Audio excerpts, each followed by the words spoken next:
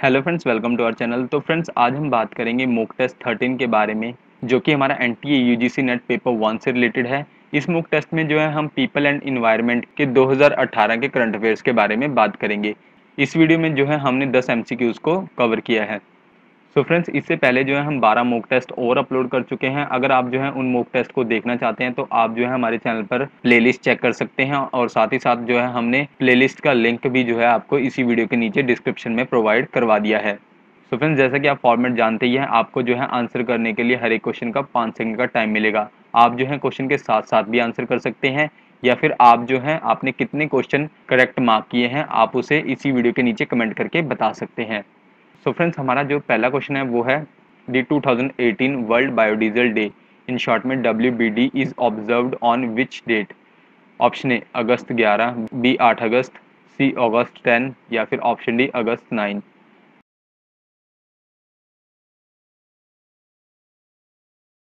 so friends world biodiesel day जो है, हर साल ऑप्शन सी 10 अगस्त को मनाया जाता है। जहाँ पर जो है नॉन फोजल फ्यूल्स हैं, यानी कि गैर जीवाश्म ईंधन है उनके इम्पोर्टेंस के बारे में जो है अवेयरनेस क्रिएट की जाती है, यानी कि जागरूकता पैदा की जाती है।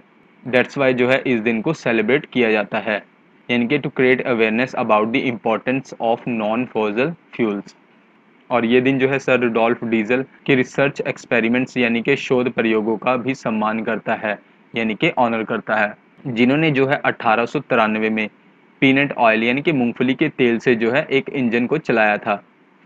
और भारत में अगर बात की जाए तो वर्ल्ड बायोडीजल डे जो है, ministry of petroleum and natural gas द्वारा मनाया जाता है।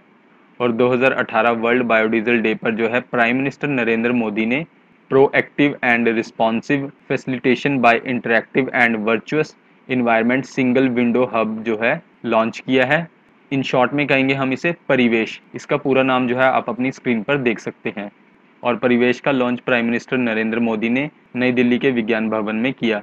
और उन्होंने जो है उस दिन नेशनल बायोफ्यूल पॉलिसी 2018 बुक भी जो है रिलीज़ की है। और जहाँ पर जो है बायोफ्यूल्स पॉलिसी का जो ऑब्जेक्टिव है, यानी कि जैव ईंधन नीति का उद्देश्य है 2030 तक, यानी कि 2030 तक 20 परसेंट इथेनॉल ब्लेंडिंग यानी कि 20 परसेंट इथेनॉल मिश्रण और 5 परसेंट बायोडीजल ब्लेंडिंग यानी कि पाँच परसेंट बायोडीजल मिश्रण तक जो है पहुँचने का उद्देश्य है।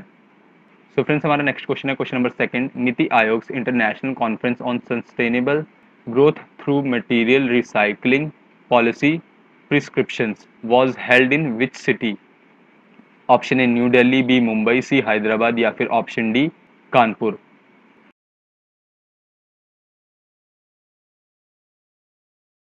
so friends NITI Aayog international conference on sustainable growth through material recycling policy prescription was held in option A, new Delhi. So यानी कि इस क्वेश्चन का जो करेक्ट आंसर है, वो है option A, new Delhi. So friends हमारा next question है question number third which state government has launched a rural cleanliness and sanitation campaign Swachh Mev Jayate यानी कि किस राज्य सरकार ने ग्रामीण स्वच्छता और स्वच्छता अभियान स्वच्छ मेव जयते लॉन्च किया है? Option A Madhya Pradesh, B Rajasthan, C Goa या फिर option D Karnataka.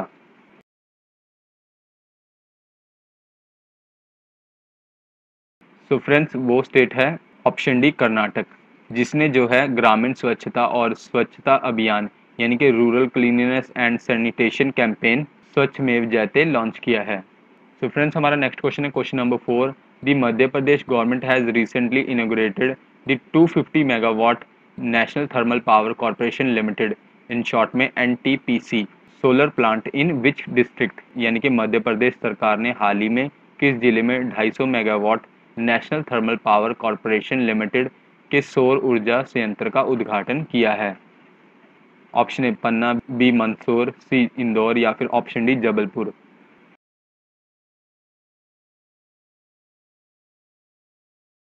So friends इस क्वेश्चन का जो करेक्ट आंसर है वो है ऑप्शन बी, मंदसौर। जहाँ पर जो है मध्य प्रदेश के चीफ मिनिस्टर हैं शिवराज सिंह चौहान। उन्होंने मंदसौर ज़िले के एक गाँव सुवासरा में जो है 250 मेगावाट सोलर पावर प्लांट का उद्घाटन किया है। और जहाँ पर जो है एनटीपीसी यानी कि national thermal power corporation limited ने स्टेटमेंट दिया है कि इस प्रोजेक्ट में जो है 1500 करोड़ रुपए इन्वेस्ट किए गए हैं ऑन नॉन एग्रीकल्चरल लैंड पर, यानी कि गैर कृषि भूमि पर जो है 1500 करोड़ रुपए का निवेश किया गया है इस परियोजना में, जहाँ पर जो है कहा गया है कि ज़ीरो कार्बन एमिशन, यानी कि कार्बन उत्सर्जन जो है बिल्कुल ही ना के बराबर होगा। और ये जो है नेचुरल इकोसिस्टम, यानी कि प्राकृतिक पर्यावरण प्रणाली को बिल्कुल भी जो है इफ़ेक्ट नहीं करेगा, और इन सभी चीज़ों को जो है ध्यान में रखते हुए बिजली का उत्पादन किया जा रहा है, यानी कि इलेक्ट्रिसिटी जो है जनरेट की जा रही है। अगर देखा जाए तो under the make in India initiative यानी कि मेक इन इंडिया पहल के तहत जो है, ये जो है सबसे बड़ा सोलर प्लांट है, जिसे डेवलप किया गया है domestically manufactured solar cells and modules यानी कि घरेलू रूप से निर्मित सौर कोशिकाओं और मॉड्यूल्स का यूज़ करके इसे डेवलप किया गया है। सो so फ्रेंड्स हमारा नेक्स्ट क्वेश्चन है question number five the national green tribunal in short में NGT has constituted a monitoring committee to oversee the Yamuna rejuvenation project who is the current chairperson of the NGT यानी कि national green tribunal ने यमुना कायाकल्प परियोजनाओं की निगरानी के लिए एक निगरानी समिति गठित की है। तो आपको बताना है एनजीटी के जो वर्तमान अध्यक्ष हैं, वो कौन है? सो so फ्रेंड्स आपके ऑप्शन है option A Anupriya Patel B Adarsh Kumar Goyal C Fagan Singh Kulaste या फिर option D Neeta Verma.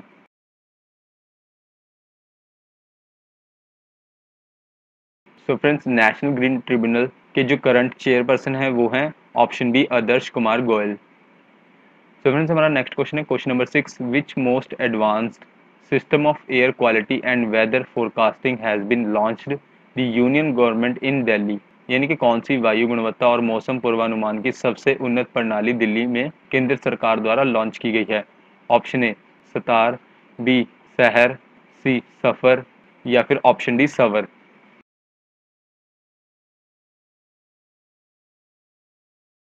सो फ्रेंड्स ऑप्शन सी सफ़र जो है, इस क्वेश्चन का करेक्ट आंसर है। जहाँ पर जो है यूनियन इन्वायरमेंट मिनिस्टर हैं डॉक्टर हर्षवर्धन, उन्होंने जो है, दिल्ली में इसे लॉन्च किया है। सो फ्रेंड्स हमारा नेक्स्ट क्वेश्चन है question number seven the union government has declare the area around Mudumalai tiger reserve in short में M T R as an eco sensitive zone in short में E S Z so friends the M T R यानी कि Mudumalai tiger reserve is located in which state यानी कि केंद्र सरकार ने Mudumalai tiger reserve के आसपास एक इको सेंसिटिव जोन के रूप में क्षेत्र घोषित कर दिया है। मधुमलाई टाइगर रिज़र्व किस राज्य में स्थित है? Option A Kerala B Tamil Nadu C Andhra Pradesh या फिर option D Karnataka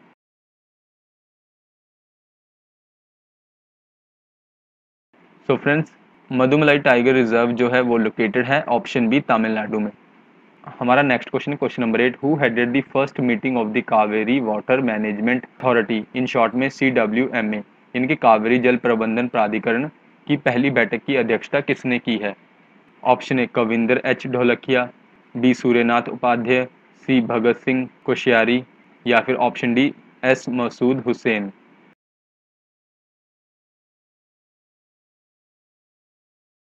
So friends option D S Masood Hussain ने जो है कावेरी जल प्रबंधन प्राधिकरण की पहली बैठक की अध्यक्षता की है, जहाँ पर जो है 2 जुलाई 2018 को कावेरी वाटर मैनेजमेंट अथॉरिटी की पहली meeting central water commission in short में सी का ऑफ़िस न्यू दिल्ली में है, वहाँ पर जो है ये मीटिंग हुई।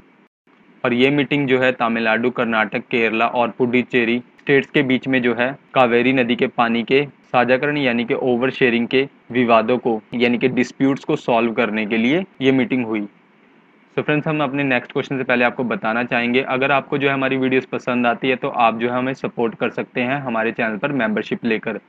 मेंबरशिप लेने के लिए जो है आपको इसी वीडियो के नीचे सब्सक्राइब बटन के साथ एक ज्वाइन का बटन मिल जाएगा।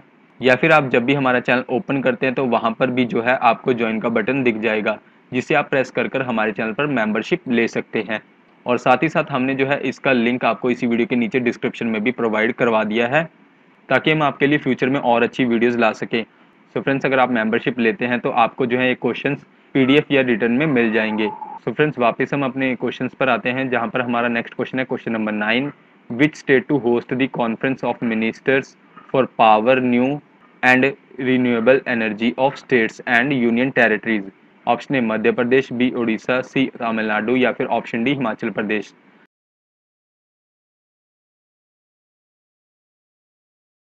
So friends option D Himachal Pradesh state to host the conference of ministers for power new and renewable energy of states and union territories और जहाँ पर जो है ये कॉन्फ्रेंस इनोग्रेट की गई union minister of state for power and new renewable energy R K Singh द्वारा।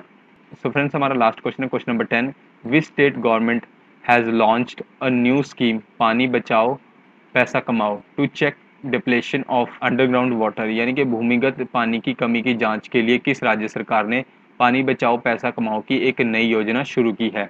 Option A Rajasthan B Madhya Pradesh C Uttar Pradesh, या फिर option D Punjab.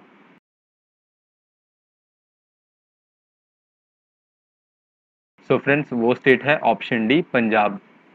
जहाँ पर जो है पंजाब सरकार ने एक न्यू स्कीम लॉन्च की है, पानी बचाओ, पैसा कमाओ, भूमिगत पानी की जाँच करने के लिए, यानी कि to check depletion of underground water so friends ये थी हमारी आज की वीडियो जिसमें जो है हमने 10 एमसीक्यूज को कवर किया। नेक्स्ट वीडियो जो आपको जल्दी चैनल पर मिल जाएगी। बाकी फ्रेंड्स अगर आपको किसी क्वेश्चन में डाउट है तो आप जो है इसी वीडियो के नीचे कमेंट कर सकते हैं। देन हम जो है उस क्वेश्चन को डिस्कस कर लेंगे। So thank you friends for watching this video अगर आपको वीडियो पसंद आई तो वीडियो को लाइक कीजिए शेयर कीजिए और चैनल को जो है सब्सक्राइब कर लीजिए। और सब्सक्राइब करने के बाद जो है एक बेल आइकन का ऑप्शन आता है, आप जो है उसे भी प्रेस कर लीजिए ताकि आप फ्यूचर में हमारी कोई भी नई वीडियोस के नोटिफिकेशन मिस ना कर सकें।